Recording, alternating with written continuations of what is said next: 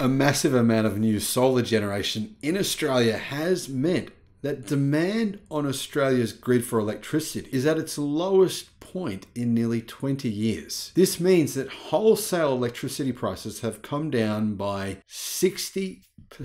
Pretty much exactly what Tony Seba's said would happen. I know I keep saying this, but it's true. Hello, my friends. Welcome to the channel. It's great to see you. I'm the Electric Viking. My name's Sam Evans. Electricity prices will drop significantly over the next five years. In fact, I believe by the time we hit 2030, people will barely talk about the price of electricity because it will be so cheap. Sounds crazy? It's very likely to be true. If we look at all the projects that are coming online solar, offshore wind, onshore wind, battery energy storage projects, and even other renewable energy projects across Australia, it means there will be a massive excess in energy supply. Now, you've got to combine that with the fact that solar is increasing its deployment at a record pace on households. In other words, you guys are being smart. You're doing the smart thing, going getting solar on your roofs, especially now that solar has never ever been cheaper before. Efficiency of panels has improved, continues to improve. Solar prices continue to come down. And this means that it's putting pressure on wholesale energy prices. Wholesale power prices have fallen 59% over the past 12 months. That's despite retail prices increasing by up to 30% for customers in Eastern Australia, which makes no sense, but that will change eventually. New figures from the Australian Energy Market Operator AEMO, which runs the national electricity market for the eastern states, show wholesale electricity prices fell to $108 per megawatt hour in the June quarter compared to the $264 per megawatt hour average seen last year when the national electricity market was suspended. 264 last year versus 108 this year. That's an enormous, enormous difference. AEMO's quarterly report noted there was an increase in black coal fired electricity generation driven by lower planned and unplanned outages in New South Wales, which is quite incredible considering the closure of the state's coal fired Liddell power station in April. The quarterly report, though, also said that renewable energy sources, in particular wind and solar, along with less volatile market conditions and improved generation ability, had put downward pressure on wholesale prices. The drivers of those changes in the prices are threefold, said Daniel Westerman, Chief Executive of AEMO. The first is coal fired power stations, which still supply around 60% of Australia's energy, are down because coal prices are down.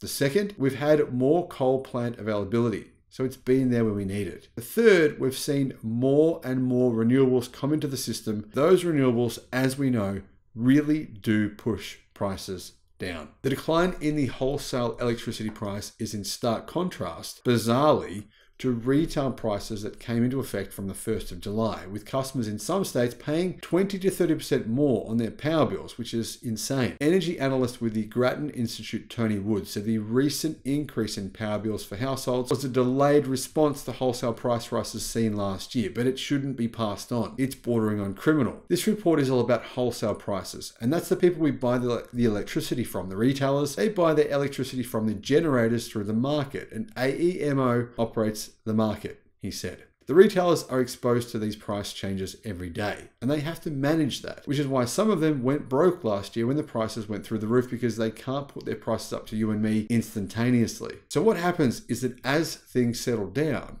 we see all these costs were incurred. Mr. Wood said those costs were then included in the prices charged by the retailers, including those set by the Australian Energy Regulator, which took effect on the 1st of July. What does this all mean?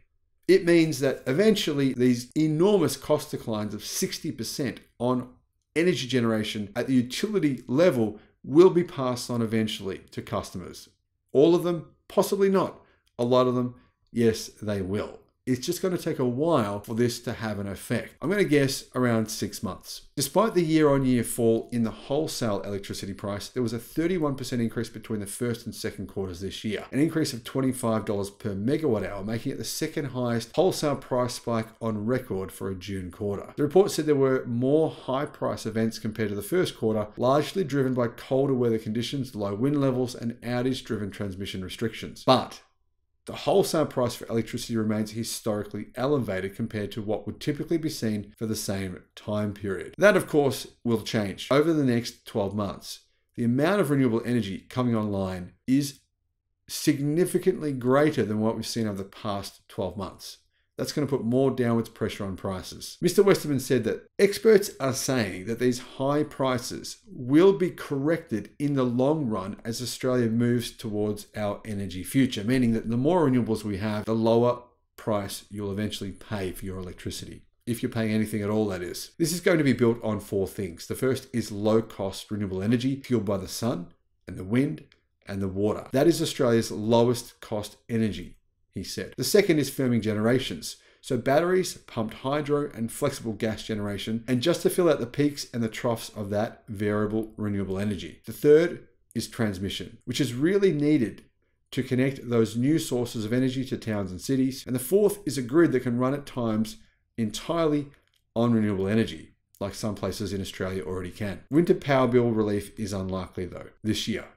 Next year, though, it'll be a different story. Although annual wholesale electricity prices have fallen, it is unlikely to translate in the short term to hip pocket relief for individuals and families receiving their winter power bills in the coming months. Mr. Wood said the wholesale electricity market operated a year in advance of the retail market, and the discrepancy was a delayed correction. So you'd be paying a lot less for your electricity hopefully 50% less this time next year. It's just a horrible coincidence. What the generators are doing is recovering the cost they incurred to try and keep the system more or less stable. And yet the wholesale price is now coming down, he said. So if nothing else changes, what we should see this time next year is the significant implications of lower costs being reflected in and a reduction in wholesale prices as well, meaning electricity prices should continue to decline every single year for at least the next few years. Mr. Westerman said lower prices would likely be reflected in bills in about 12 months' time from now. Changes to household electricity prices in Victoria, Tasmania, the ACT, and Western Australia are not set by the national regulator. The AER is expected to begin its review of the default market offer for the next financial year in 2024. What this means, there will be less volatility in electricity prices as Australia shifts towards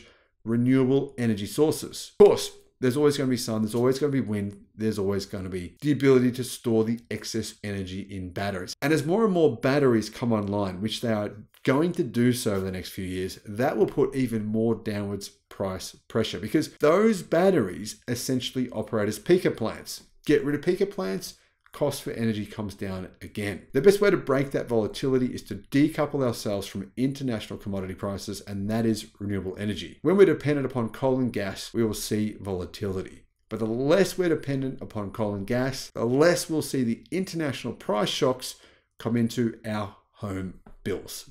Key takeaway here is electricity prices are probably at their highest point that they'll ever be. From here on in, we're going to see lower prices continually for the next decade. At least that's what I think anyway. What do you think, guys? Let me know your thoughts in the comments. Either way, this is actually really good news.